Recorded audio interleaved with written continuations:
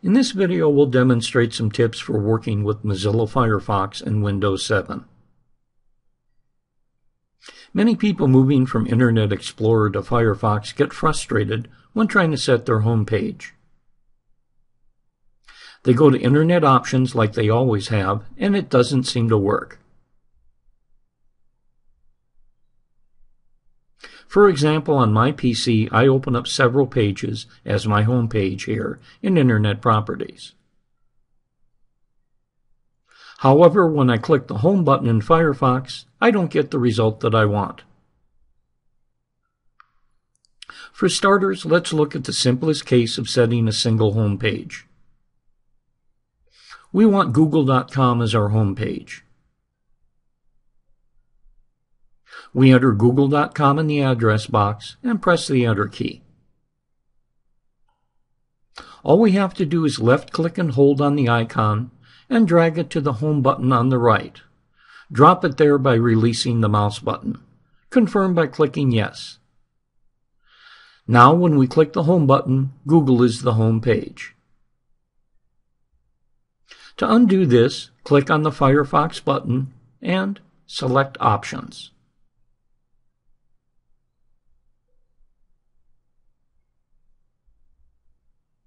This is where the home page is set. We can restore it to the default by clicking the Restore to Default button and then clicking OK. And now, when we click on the button, we go back to the Mozilla Firefox Start page.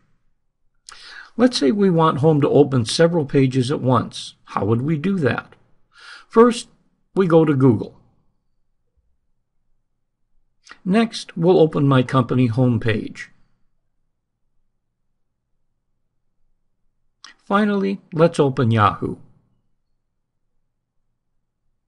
Click on the Firefox button and go to Options. Click Use Current Pages and then OK.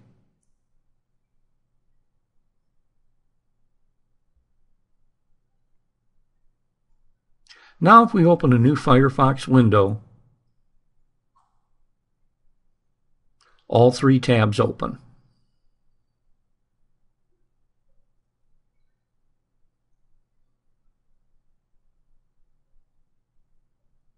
We'll now close this window.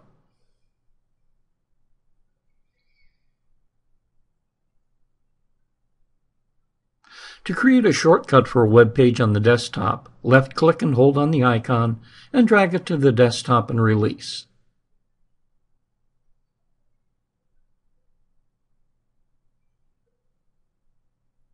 When we double-click on it, the page opens in Internet Explorer.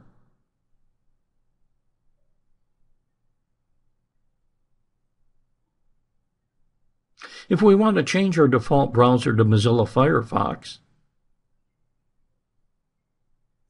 Click on the Firefox button again and choose Options.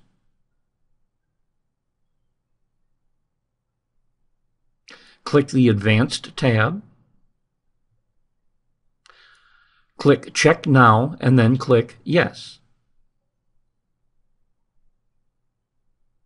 This makes Firefox our default browser.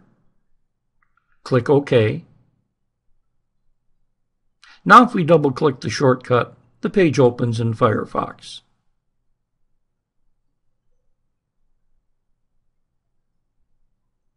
So there you have some quick tips on using Firefox with Windows 7. I hope this little computer bit has been helpful. Please subscribe to our channel and come back often to pick up more tips on Windows. Remember, the better you understand Windows, the more fun you'll have with your PC. Goodbye for now.